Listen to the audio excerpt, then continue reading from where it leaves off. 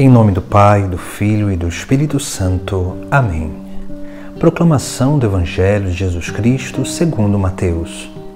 Naquele tempo, tomou Jesus a palavra e disse: Vinde a mim, todos vós que estáis cansados e fatigados sob o peso dos vossos fardos, e eu vos darei descanso.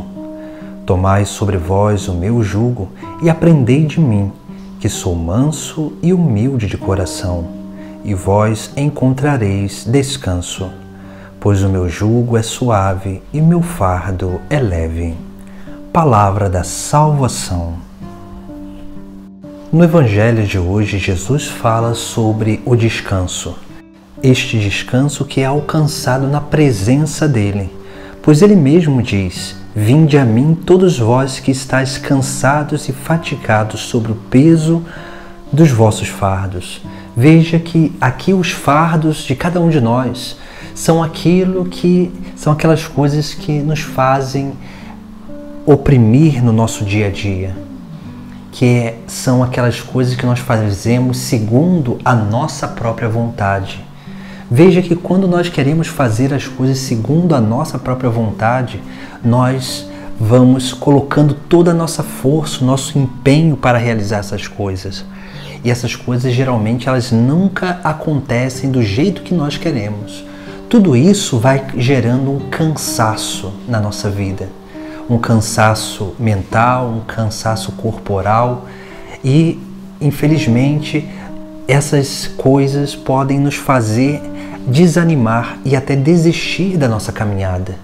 Por isso que nós vemos que Jesus Cristo, quando nos chama a atenção sobre este cansaço, sobre esta fadiga do nosso trabalho, nós precisamos nos abrir à reflexão justamente sobre esta realidade onde quando nós fazemos somente a nossa vontade e queremos que tudo aconteça segundo ela, nós sempre nos veremos cansados e fatigados. Por isso que Jesus nos chama a descansar nele, ter esse descanso que é sim estar na presença dele. Porque estando na presença de Jesus Cristo, nós seremos capazes de escutar a sua voz. E escutando a sua voz, seremos capazes de fazer a vontade do Pai do céu. Por isso que Jesus ele vai dizer: Tomai sobre vós o meu jugo e aprendei de mim, que sou manso e humilde de coração. Veja que Jesus ele nos alerta sobre duas virtudes que são essenciais: as virtudes do coração dele mesmo, que é a mansidão. A mansidão nos dá esta capacidade de tranquilidade, de paciência, para olhar todas as coisas as circunstâncias e refletir sobre elas, para que possamos tomar a decisão mais justa, buscando o bem supremo, o bem comum.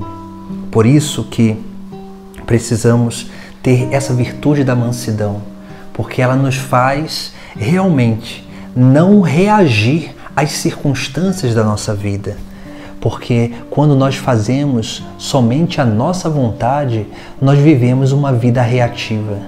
Essa vida onde nós queremos que tudo aconteça do nosso próprio jeito e as coisas não acontecem do nosso próprio jeito. E isso vai fazendo com que a gente viva reagindo às circunstâncias da nossa vida. E quando nós reagimos, nós fazemos coisas sem pensar e quando nós fazemos sem pensar, nós começamos a ferir todos aqueles que estão à nossa volta. Por isso que, acompanhado da mansidão, nós precisamos ter a humildade, porque quando nós temos essa tranquilidade, essa paz e essa paciência para refletir sobre as coisas, a humildade ela nos faz refletir sobre a verdade, a verdade de cada coisa porque a humildade ela tem essa capacidade de nos inserir no mais profundo daquilo que é a verdade de cada coisa. Por isso que é nesse caminho de seguimento a Jesus Cristo que nós conseguiremos realmente alcançar o descanso, porque a mansidão nos faz ficar sempre tranquilos diante das, diante de Deus e diante das circunstâncias da nossa vida. A humildade nos faz refletir segundo a verdade de Deus, a verdade da criação, para que assim nós possamos colocar sobre os nossos ombros aquilo que Jesus Cristo nos oferece, pois ele vai dizer: O meu jugo é suave e o meu fardo é leve. Veja que o jugo que Jesus Cristo está falando, nós podemos interpretar de duas formas. O jugo é aquele, aquela coisa que bota sobre o pescoço do cavalo, do jumento, para que dois possa, possam andar juntos no mesmo caminho, na mesma direção. Jesus vai dizer: O meu jugo é suave, ou seja, Jesus ele nos chama a colocar o seu jugo sobre as nossas costas, os nossos ombros, para que nós possamos com ele realmente carregar esse jugo na mesma direção. E esse jugo ele representa duas coisas essenciais para a nossa vida. Uma tem a ver com a nossa humanidade, a nossa natureza humana, que é a lei, a lei natural, que é a lei divina, a lei de Deus, a lei que Deus imprimiu em cada ser humano.